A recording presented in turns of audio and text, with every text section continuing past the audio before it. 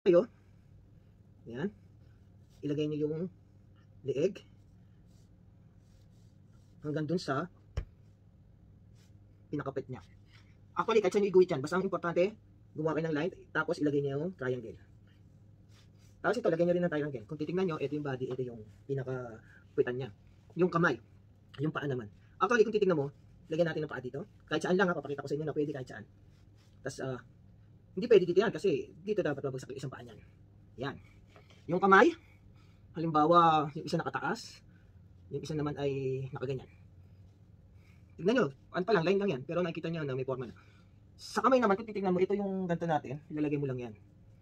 Yan. Okay, papakita ko sa inyo, lalagyan natin ng katawan. Ilagay natin yung leg, lagay natin yung dibdib, lagay natin ng tiyan, pusod.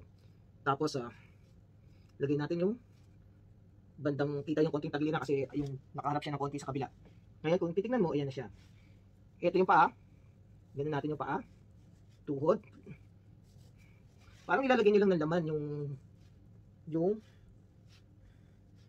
tapos, paano gumawa ng paa? Di mabang triangle. Kasi ito, lagyan naman natin dito. Parang lang nilalagyan natin ng kasi pagka meron ng line yan, makikita nyo na kung saan ilalagay. Yung, tapos yung braso, lagyan mo ng, kung lalaki, syempre may dalawang muscle yan, yung siko niyan, tsaka yung, naka, ano niya, dalawang muscle, siko, tsaka yung dalawang yung braso.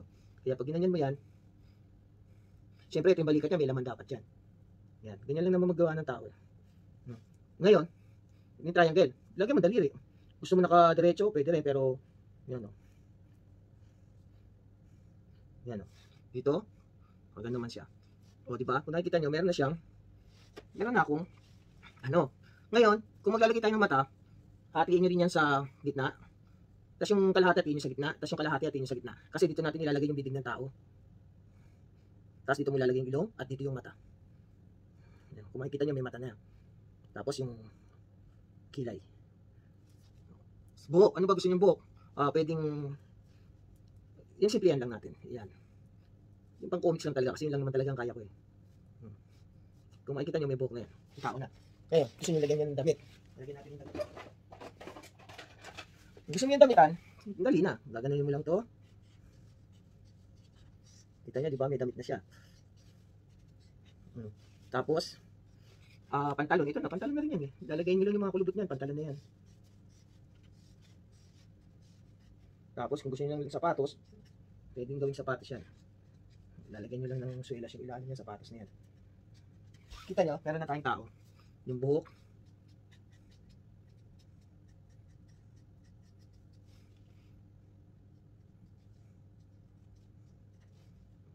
Linawan nyo na lang. Kaya ako pinipentel pen kasi para lang makita nyo ng malinaw. Na kung tutusin. Kita nyo? May tao na. Ngayon, gusto nyo shadings. Kunyari, andito yung ilaw nyo. Siyempre, tatamaan ng shadings nyo.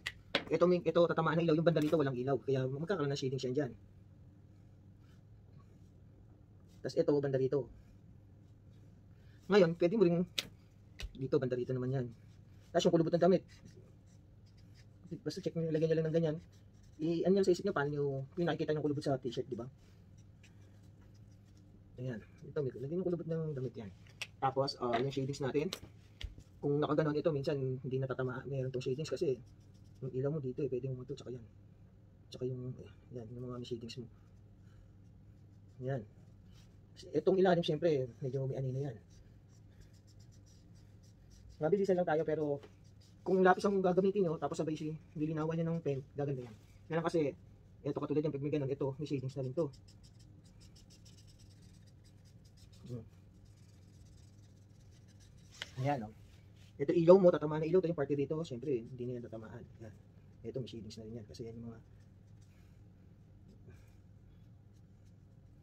Yan.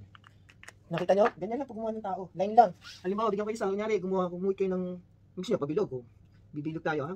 Lagyan nyo lang yan ng triangle, tapos yung puwet niya. Tapos lagyan nyo katawan. Lagyan nyo na yung puwet. Ngayon, pagka nilagyan nyo na yan, siyempre may ulo yan. Tapos, hmm, kita nyo may katawan na siya.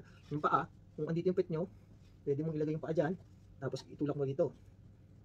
Yung siya siyempre doon manggagaling, kaya ito na lang ang makikita ngayon dyan. Nakita niya, linawan natin ulit ha. Una natin yan itong bandang ulo. Ito na lang, ito na lang ano niya. Lagyan na natin t-shirt. Tapos itong put niya. Nakita niyo ba?